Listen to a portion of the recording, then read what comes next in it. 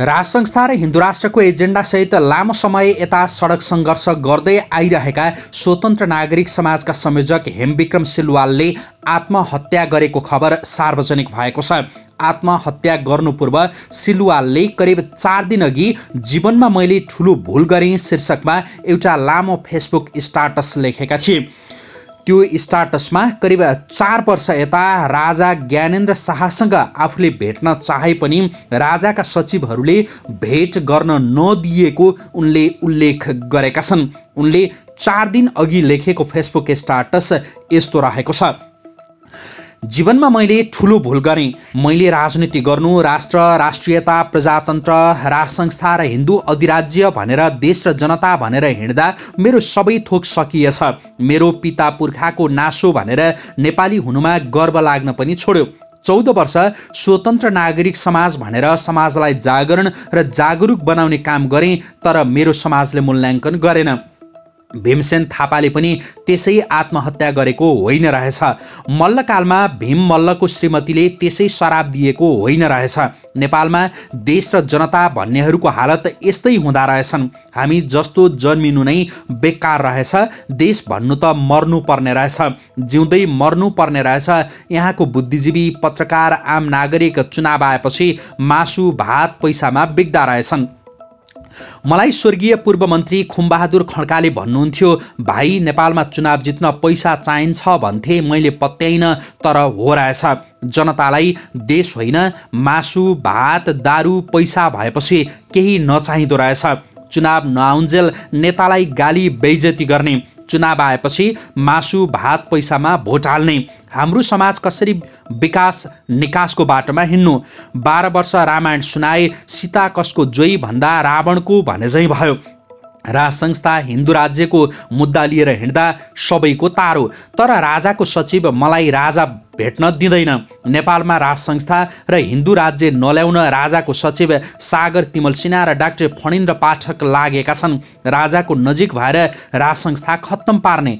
राजालाई हामीले राम्रो सबै मिलाइरहेछौँ भनेर झुठो आश्वासन दिने जसले देश बुझेको छ उसलाई राजासँग भेटघाट नगराउने आफ्नो आफन्त आस्य पास्य आफ्नो भजन मण्डलीलाई भेटाउने राजाको भन्दा नि आफ्नो गीत गाउन लगाउने। यस्तो पाराले नेपालमा राज संस्था र हिन्दू राज्य कहिल्यै आउँदैन। जसको बिहे हेर्नै नदे भने चाहिँ मैले राजासँग भेटेर कुरा गर्न खोजेको चार वर्ष भयो सागरलाई भन्यो डाक्टर फणिन्द्र पाठकलाई देखाउँछ। यो कुमाई र जैसीले मलाई बिरालोले मुसा खेलाए झैँ खेलाए। जैसी र कुमाई यति खराब हुँदा रहेछन्। मेरो जहाज डुबाइदिए मेरो चौध वर्ष स्वतन्त्र नागरिक समाज स्थापना गरेर मुलुकलाई राज संस्था र हिन्दू अधिराज्य मेरो पुर्खाको धर्म म सिपाहीको सन्तान भनेर मैले कमाएको पैसा चौध वर्षमा आन्दोलन धर्ना विचार गोष्ठी विरोध प्रदर्शन र नेपाल सरकारलाई ज्ञापन पत्र दिएर जागरण कार्यक्रम गरेर सकेँ। आज म पैसा सकिएर जोगी भएँ तर मलाई एकपटक राजासँग कुरा गर्ने वातावरण मिलाइदेऊ न भन्दा उसले ऊ उसले ऊ देखाएर मलाई बेकुफ बनाए। म पहिला मरे त ठिकै छ। मभन्दा राजा ज्ञानेन्द्र पछि मरे भने आर्यघाटमा फुलमाला चढाउँला। राजाको निजी सचिव सागर तिमल सिन्हाले मलाई म राजा ज्ञानेन्द्रको निजी सचिव रहुन्जल तपाईँ राजा भेट्न दिन्न भने। मेरो त राजासँग आस्था मात्र हो। मेरो बाटो छेकेर मलाई के फरक पर्छ र मैले देशको रा लागि राज संस्था र हिन्दू राज्य हुनुपर्छ भनेर सत्याग्रह गरेँ मेरो घरमा चामल नभएर भोको बस्या हो। नेपाली समाजलाई मेरो प्रश्न चौध वर्षमा मैले कमाएको पैसा चार करोड पचास लाख सिद्ध्याएँ तर मेरो आस्थामा चोट राजाका सचिव सागर तिमिल सिन्हा र डाक्टर फणिन्द्र पाठकले गरे तर धरतीमा कली छ केही छैन। यिनीहरूको हिसाब किताब यमराजले गर्लान्। मैले गल्ती गरेको भए मलाई गर्लान्। एउटा युवा देश जलिरहेछ राम्रो सबैको होस् भनेर अघि बढ्छ भने सके साथ दिनु नसके खुट्टा तान्ने काम नगर्नु। मलाई के फरक पर्छ र देशलाई हानि नोक्सानी नहोस्। जय गुरु गोरख हेमविक्रम सिलवाल संयोजक स्वतन्त्र नागरिक समाज हिन्दू राष्ट्र महाअभियान। सिलवालले यो फेसबुक स्टाटस लेख्नु अघि अन्य केही स्टाटसहरू पनि लेखेका थिए। उनले सँगसँगै यो स्टाटस लेखिसके पछाडि अर्को स्टाटस तत्कालै लेखेका थिए। उनले लेखेका थिए मैले तिन दिन अगाडि भनेको थिएँ गोरु ब्याउँछ भनेर। आज बिहाएछ जेबो राम्रो भो खाऊ जनता खुँदो नेपालमा जहिल्यै गोरु ब्याउँछ जय होस्।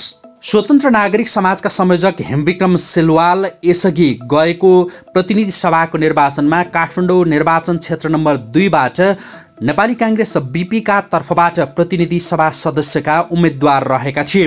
त्यसअघि उनी राष्ट्रिय प्रजातन्त्र पार्टी नेसनलिस्ट पिपल्स पार्टी लगायतका पार्टीमा पनि आबद्ध रहेका थिए। सिलवालले पछिल्लो पटक दिएको भिडियो अन्तर्वार्ता यस्तो छ। स्वागत छ यहाँलाई। नमस्कार धन्यवाद। यति बेला राष्ट्रिय स्वतन्त्र पार्टीका सभापति रवि लामी छानेको नागरिकताको विषयलाई लिएर मान्छेहरू पछाडि लाग्या लागै छन् केही मान्छेहरू। तपाईँ के भन्नुहुन्छ? एउटा कुरो कस्तो भन्दाखेरि नेपालको दुई हजार उनासी साल मङ्सिर चार गते निर्वाचन सम्पन्न पनि भयो। र निर्वाचन हुनुभन्दा अगाडि जुन हिसाबमा दरखास्त दिने बेलामा जब रविजीको कुरा अहिले जति पनि उछालिएको छ र नो एगेन्स्ट जुन मतहरू चाहिँ रविको पार्टीले पा पाएर अहिले लगभग बिस सिटको हाराहारीमा रविको पार्टी सभामा प्रतिनिधित्व गरिरहेको अवस्था छ। अब कसरी बिस सिट आयो त भन्ने विषय चाहिँ महत्त्वपूर्ण कुरा त्यहाँ जानु पऱ्यो पहिला। के भन्दाखेरि जब तोसिका कार्कीको जुन उम्मेदवारी ललितपुर तिन नम्बरमा पऱ्यो र उहाँ एउटा डक्टर पनि र उहाँले चाहिँ ल के अरे ललितपुरको जुन हस् हस्पिटल जुन हो पाटन हस्पिटल पाटन हस्पिटलमा उहाँले तपाईँको केही ट्रेडिङहरू लिएको र चाहिँ उहाँले त्यहाँ हस्पिटललाई आवश्यक पर्दाखेरि चाहिँ सु के अरे ट्रेडिङ भत्ता लिएको एउटा विषयलाई लिएर। चाहिँ तपाईँको निर्वाचन आयोगले पहिलोचोटि उहाँको उम्मेदवारी खारेज गर्यो। निर्वाचन आयोगले खारेज गर्यो तर उहाँले सम्मानित सर्वोच्च अदालत जानुभयो। र सर्वोच्च अदालत गएपछि सर्वोच्च अदालतले उहाँको उम्मेदवारी यथावत राख्नु भन्ने फैसला आयो। त्यस पछाडि पनि न नभइसके पछाडि फेरि निर्वाचन आयोग एउटा व्यक्तिको पछाडि लागेर पुनर्वेदन गर्यो। जब त्यो पुनर्वेदन गरिसके पछाडि र अनि रविजीको चुनाव प्रचार प्रचारको दौडानमा चितवनमा लगभग तपाईँको कार्तिक अठाइस गते या उन्तिस गते हुनुपर्छ। त्यतिखेर चाहिँ रविको गाडी तोडफोड भएको केही भिडियोहरू सार्वजनिक भए। त्यस पछाडि एउटा स्वतन्त्र राष्ट्रिय स्वतन्त्र पार्टीलाई कसैले कतैबाट चासो नदिएको भए आज यो परिस्थिति जन्मिँदैन थियो। र चाहिँ रविजीको पार्टी त्यस पछाडि देशव्यापी रूपमा चर्चाको शिखरमा पुग्यो। चर्चाको शिखरमा पुगिसके पछाडि कसैले पनि उहाँको त देशैभरि कुनै एउटा चार महिना अगाडि खुलेको पार्टी होइन? तपाईँको चाहिँ कुनै सङ्गठन थिएन। र चाहिँ यो देशका युवा पुस्ताहरूले परिवर्तन चाहिरहेका थिए र नेपाली कङ्ग्रेस भर्सेस नेकपा एमाले नेकपा माओवादी। यी लगायतका राजनीतिक पार्टीको रवैयाप्रति जनताको वृत्तिष्णा जस्तो सहरी क्षेत्रहरू जस्तै काठमाडौँ उपत्यका भन्नुहोस् चाहे चितवन भन्नुहोस् चाहे धनगढी भन्नुहोस् चाहे चाहे नेपालगञ्ज भन्नुहोस् चाहे विराटनगर। यी प्रमुख सहरहरूमा चाहिँ रविको राष्ट्रिय नागरिक पार्टी स्वतन्त्र पार्टीको व्यापक चर्चा हुन पुग्यो र उहाँ बिना सङ्गठन तपाईँको चाहिँ तोसिका कार्कीको मुद्दाले तपाईँको चाहिँ जनता चाहिँ रवि लामे छानेको नेतृत्वको पार्टीप्रति आकर्षण बढेर उहाँले चाहिँ उपत्यका जस्तो ठाउँमा राजधानी जहाँ राजधानी छ त्यो ठाउँमा ललितपुरमा एक सिट र काठमाडौँ उपत्यकामा चार सिट गरे पाँच सिट जित्नलाई सफल हुनुभयो। र निर्वाचनको दौडानमा म पनि थिएँ। मैले बिपी काङ्ग्रेससँग सहकार्य गरेर उम्मेदवारी हालेको थिएँ। र जी शोभिता गौतमले जुन काठमाडौँ दुई नम्बर क्षेत्रमा जित्नुभयो। दुई गतेसम्म चाहिँ पञ्चायतकालको एउटा चुनावको मलाई याद आयो। सिन्धुपाल्चोकमा जितबहादुर श्रेष्ठ र पशुपति शमशेर विरोधी भक्तध्वज र नेत्रविक्रम थापाको चुनावको मलाई झ्याके झल्को आयो। तपाईँको दुई गते मङ्सिर दुई गतेसम्म काठमाडौँ दुई नम्बर क्षेत्र करुवामय भयो। हेमविक्रम सिलवालले अत्याधिक मतले जित्छ भनेर पन्ध्रवटै वडा शङ्करापुर नगरपालिका कागेश्वरी चारवटा वडा काठमाडौँ महानगरका एघार नम्बर र पन्ध्र बत्तिस नम्बर वडामा व्यापक। अब मलाई जसले पनि फोन गर्ने प्रशासनको मान्छेले पनि फोन गर्ने युवाले पनि फोन गर्ने अब बुद्धिजीवीहरूले पनि फोन गर्ने पत्रकारहरूले पनि फोन गर्ने र सिलवालजी तपाईँको पक्षमा माहौल राम्रो छ। तर निर्वाचन जितेपछि तपाईँले जति टेलिभिजनमा फलाग्नु भएको छ काठमाडौँ दुई नम्बर क्षेत्रमा मैले निर्वाचित भएँ भने सतहत्तर जिल्लाको नेतृत्व गर्नेछु र यो संविधान त हिन्दू राष्ट्र र राष्ट्र फर्किँदैन होइन? र चाहिँ मैले चाहिँ सदन र सडकमा आन्दोलन गर्छु भन्नुभएको थियो। भनेर चाहिँ मलाई तपाईँको दुई गते बेलुका एघार बजीसम्म मैले फोन उठाउँदाखेरि सबै माहौल काठमाडौँ दुई नम्बर क्षेत्रको मेरो पक्षमा थियो। जब तिन गते पछाडि जुन हिसाबमा चाहिँ यी विभिन्न यो निर्वाचन आयोगको पुनर्वेदनको जुन घटना घट्यो र चाहिँ पुनर्वेदनले चाहिँ सर्वोच्चमा विचाराधीन रहेको मुद्दामा पुनर्वेदनको जरुरी छैन भनेर जुन किसिमको एउटा स्टे अर्डर जारी गरेपछि त्यसपछि रविजीको पार्टी चम्कियो। अब अर्को कुरा अहिले रविजीलाई जसरी लखेटिएको छ यो राजनीति बेमानी हो भन्ने मेरो बुझाइ हो। किन? किन राजनीतिक बेमानी? अब किन बेमानी हो भने यदि रविजीले हिजो अमेरिका जाँदाखेरि नेपालको नागरिकता त्यागेर जानुभयो होइन? त्यस पछाडि उहाँ गइसके पछाडि उहाँ केही वर्ष अमेरिकामा सेवा गर्नुभयो र उहाँलाई के चित्त बुझेन? र पछि उहाँले स्वदेशमै केही काम गर्छु भन्ने हिसाबले रवि लामी छानेजीले अमेरिकाको डिबी त्यागेर नेपालमा बसोबास गर्नुभयो र पहिला उहाँले न्यु ट्वेन्टी फोरमा काम गर्नुभयो। पछि गएर न्यु ट्वेन्टी फोरबाट उहाँले सिधै उहाँले आफ्नै एउटा चाहिँ ग्यालेक्सी भन्ने टेलिभिजन खोल्नुभयो र उहाँले पत्रकारिता गर्नुभयो। तर उहाँको उद्देश्य के रहेछ भन्दाखेरि देशमा राजनीति बेछितीले गर्दा अत्याचार भयो र मुलुकमा राजनीति जुन संस्थागत भ्रष्टाचार छ अपराधीकरणलाई राजनीतिकरण राजनीति राजनीतिलाई अपराधीकरण। जुन बेछितीले मुलुक गाँजिएको छ भन्ने चाहिँ रवि लामे छानेजीलाई लागेपछि उहाँले पार्टी खोल्नुभयो राष्ट्रिय स्वतन्त्र पार्टी। र उहाँले चुनाव चिन्ह पाउँदाखेरि घन्टी चुनाव चिन्ह पाउँदाखेरि पनि धेरै विवादको कुराहरू आए।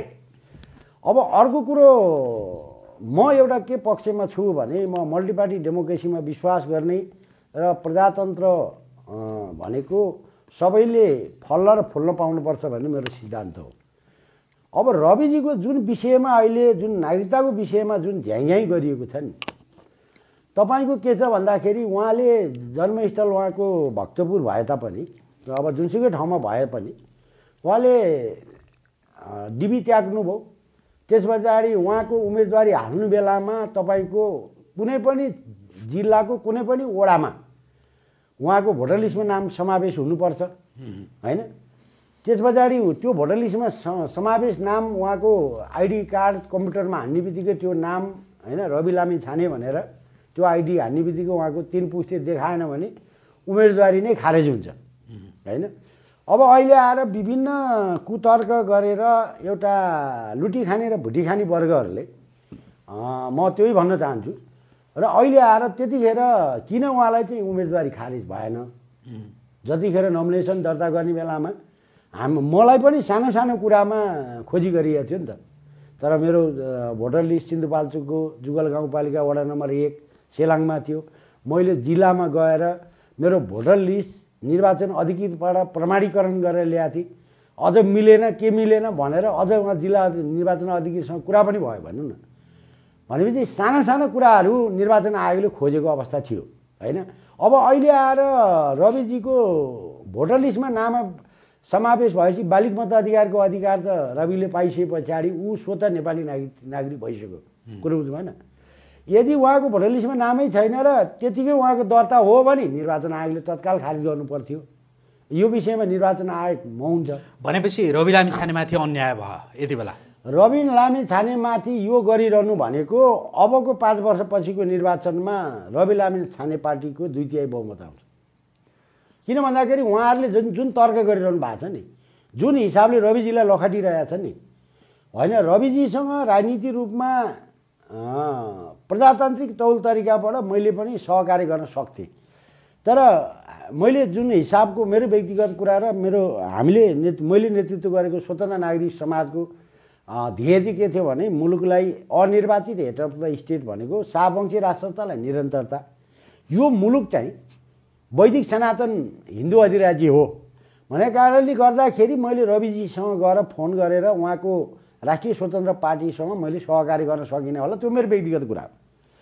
तर उहाँले के भनेर निर्वाचनमा जानुभयो भन्दा व्यवस्था परिवर्तन होइन अवस्था परिवर्तन भनेर जानुभयो। उहाँको त्यो यो यो एउटा एजेन्डा बाहेक र अनि अर्को भ्रष्टाचारको मुद्दा यो दुईवटा एजेन्डामा बाहेक रविजीले पार्टी खोलिकन सार्वजनिक रूपमा यो मुलुकमा कार्यकारी राष्ट्रपति हुने हुने हो कि?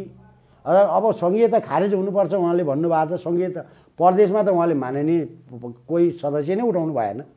भने चाहिँ अब रविजीको पार्टीप्रति मेरो चाहिँ व्यक्तिगत दृष्टिकोण के भने मेरो उहाँको पार्टीप्रति र उहाँहरूको उहाँको पार्टीमा जहिले जति चाहिँ युवा पुस्ताहरू हाबी भएका छन् त्यो प्रति चाहिँ म रवि लामे छानेप्रति मेरो व्यक्तिगत चाहिँ सहानुभूति छ। त्यो भएको कारणले अहिले जुन हिसाबले निर्वाचित भएर आएर उहाँले प्रमाणपत्र पाइसके पछाडि नागरिकताको विषयमा लिएर आएर त्यसो भए त यो देशका अन्ठानब्बे पर्सेन्ट धनाढ्य वर्गका परिवारका सदस्यहरू अमेरिकामा छन् नि। युरोपमा छन् नि त। अब यो विवाद आउने कि नआउने? आज यहाँ का नेपालमा छोराछोरी अमेरिका भएकाहरूले रातारात सम्पत्ति जग्गा जमिन बेचेर नेपाल आज नेपाल सरकारको त्यो सम्पत्ति शुद्धिकरणले के हेरिरहेछ? होइन? तपाईँको के भन्दाखेरि सम्पत्ति शुद्धिकरणले नेपालको जग्गा जमिन बेचेर छोराछोरी अमेरिका हुनेहरूले रातारात चाहिँ तपाईँको पुँजी पलायन भइरहेको छ यो विषयमा राज्यको ध्यान गएको छैन हेर्नुहोस्। बुझ्नु भएन यो कुरो खोजीको विषय हो। किनभने जम्मै छोराछोरी उता छन् यहाँ बा आमा बुढाबुढी भए मर्ने बेला भइसकेपछि बा आमालाई पनि लैजाने। मरे नेपालमै मरिहाले सिद्धिको जिउँदो भयो भने तपाईँको कुरा चाहिँ यदि रवि लामी छानेको जसरी नागरिकताको विषय यति बेला उठाइएको छ उठाउने नै हो भनेदेखि त यहाँ लाखौँको विषय उठ्छ भन्ने होइन यो त मैले भने कि मैले तपाईँलाई काले भनिरहँदा म कति गोरो छु त। होइन? मैले तपाईँप्रति प्रश्नवाचक चिन्ह खडा गरिसकेपछि म प्रति कतिवटा क्वेसन आउँछ त। त्यो कुरा पनि त मूल्याङ्कन गर्नु पऱ्यो नि त। रविजीले त सार्वजनिक रूपमा जनताले बुझ्ने भाषामा मैले अमेरिकाको डिबी र नागरिकता त्यागेँ। म आजबाट हिजो पनि म नेपाली थिएँ आज पनि म नेपाली भएँ र म मेरो देश र मेरो मातृभूमिको लागि केही गर्छु भन्न उसले पाउने कि नपाउने? यो प्रश्न हो के? त्यो भइसकेपछि यदि उमेर आज चाहिँ नागरिकताको विधा विवादको कुरा ल्याउने हो भने उहाँलाई चाहिँ निर्वाचन आयोगले उहाँको चाहिँ मतदाता नावलीमा नावा नावावलीमा नाम समावेश नभएको कारणले उम्मेदवारी दर्ता हुँदैन नि त। तपाईँले अघि एउटा कुरा भन्नुभयो कि जस्तो के लुटी खाने के भुटी खाने होइन? त्यो वर्गले चाहिँ रवि लामी छानेको विरोध गरे हो भने होइन यो देशको लुटी खाने भुटी खानेहरूले यसो गरे हो भन्नु हो नि कसरी लुटी खाने कसरी भुटी खाने ताकि रवि लामी छानेको यो विषय उठाउँदाखेरि उनीहरूलाई के लुट्न सजिलो हुन्छ? होइन एउटा कुरो के भन्दाखेरि कंशको कोखमा कृष्णले पनि जन्म जन्म लिएको बुझ्यो भने त्यही परिवारभित्र। तर कृष्णलाई मार्नको लागि उनको मामाले होइन अब कतिसम्म चाहिँ तपाईँको षड्यन्त्र गरेको कुराहरू हामी त अलिकति धार्मिक कुरामा नै विश्वास गर्छौँ नि। एउटा कुरो के भने व्यक्तिगत रूपमा रविजी म चिन्दिनँ। व्यक्तिगत रूपमा म रवि जान्दिनँ। यो मेरो प्रश्न प्रश्न कुरा। मैले उनको प्रस्तुति ग्यालेक्सी टेलिभिजन र न्युज ट्वेन्टी फोरमा देखेँ हो। एउटा पत्रकारिता आज तपाईँ पनि पत्रकारिता गर्नु आज तपाईँले पत्रकारिता गरेको पनि तिसौँ वर्ष भयो। राष्ट्र राष्ट्रियता र समाज रूपान्तरण र जनताको जीवन स्तर उठाउनका लागि खबरदारी गर्ने नेपालको चौथो अङ्कको रूपमा त तपाईँ पनि हो नि। रविजी पनि त्यही प्लेटफर्मबाट आउनुभयो होइन? भोलि तपाईँ राजनीति गर्ने कि नगर्ने? होइन? भोलि आवश्यक पऱ्यो भने तपाईँले मुलुकको लागि कुर्बानी गर्ने कि नगर्ने? प्रश्न यो हो नि त। म पत्रकार हुँ मेरो काम लेख्ने मात्रै हो। म म पत्रकार हुँ मेरो काम भनेको स्टुडियोमा बोलाएर इन्टरभ्यू मात्रै गर्ने हो। तपाईँले त्यो भनेर भाग्न पाउनुहुन्छ यो मुलुकमा? पाउनुहुन्न नि। हजुर रविजीले जुन किसिमको रविजीले रविजीलाई जुन किसिमको अहिले जुन दुःख दिएको छ ठिक छ उहाँको पार्टीमा अहिले अला काँछा अल्लारे होइन ठिक छ डक्टर भए पनि इन्जिनियर भए पनि एउटा युवा पुस्ता हाबी छ। तर रविजीको पार्टीलाई विशेष रूपमा राजनीति सुझबुझ भएको एउटा राजनीतिमा पोख्त व्यक्तित्वहरूको गाइड जुन सल्लाहकार समितिको आवश्यक देखाएको छु मैले। होइन? त्यो त्यो सल्लाहकार समिति चाहिँ रविजीले छिटोभन्दा छिटो गठन गरेर जस्तै कानुन व्यवसायमा पोख्त भएका राजनीतिमा दखल रहेका होइन? पत्रकारितामा लामो अनुभव भएका यी किसिमका चाहिँ एउटा रविजीको पार्टीको सल्लाहकार समितिको आवश्यकता मैले देखिरहेको छु। किनभने के भन्दा सबै त्यहाँ युवा छन् जोस र जाँगर लिएर आएका छन्। कतिपय कस्ता कुराहरू सदनमा गएर प्रस्तुत हुने होइन? संसद भनेको तपाईँको प्रतिनिधि सभा भनेको के हो भने कानुन निर्माण र कानुनलाई परिमार्जन गर्ने थलो हो। होइन त्यो क्षेत्रमा बिसजनाको सिट छ नि त रविजीको। त्यो भएकाले रविजीले अलिकति मुलुक बुझेको र नेपालको लामो राजनीतिको नजिकबाट सूक्ष्म अध्ययन गरेका मान्छेहरूलाई सल्लाहकार समिति बनाउनुपर्छ र त्यो पार्टी म के चाहन्छु भने अब कतिपयले हल्ला पनि के गरेछ भने अब रविजीको पार्टी फुट्छ यहाँ। त्यो हल्लै हल्लाले के भने त्यो चाहिँ त्यो ड्यामेज गराउन लागेका छन्। त्यो त्यो पनि एउटा रवि लामी छाने र उहाँको पार्टीका प्रति तपाईँ आशावादी हुनुहुन्छ। होइन ठिक छ उहाँको दुईवटा कुराले उहाँले चुनावमा आउनुभयो। मैले प्रश्न अघि भनिसकेँ एउटा कुरा के भन्दाखेरि अवस्था परिवर्तन गर्ने हो व्यवस्था परिवर्तन गर्नु गर्ने होइन संहिता खारेज र भ्रष्टाचारलाई जिरोमा झार्नुपर्छ। नेपालको मारोग भनेको नि भ्रष्टाचार हो भने यो भनौँ न यी तिनवटा दुईवटा कुराहरू लिएर रविजी चुनावमा होमिनु भयो होइन? भनेपछि जति पनि नेपालको वैदेशिक रोजगारको क्रममा विदेशमा गएर अलपत्र परेका होइन? मेन पावर मार्फत ठगिएका यी मान्छेहरूका कुराहरू चाहिँ तपाईँको रविजीले बुलन्द पार्नुभयो र वैदेश विदेशमा रहेका युवाहरूले को चाहिँ उहाँबाटै भोट हाल्न मिल्ने हो भने मेरो विचारमा रविजीको पार्टीको चालिस पैँतालिस लाख भोट हुन्थ्यो होला।